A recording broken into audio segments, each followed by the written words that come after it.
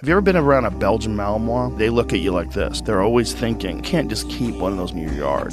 They're too smart. They're working dogs. First of all, Yeah, they yeah, yeah. climb fences Yeah. like a chimpanzee. They just go right up the fence and over it. okay. They can do where they leap through the air, like soaring. I'm talking like 12 feet in the air. They run, jump off a guy's back, and then leap through the air, like climb over walls that are like 10 feet tall. It's insane.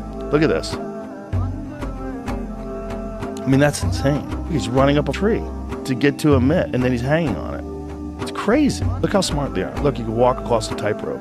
Isn't that insane? They're so intelligent, but that's closer to a wolf. They're basically an athlete wolf.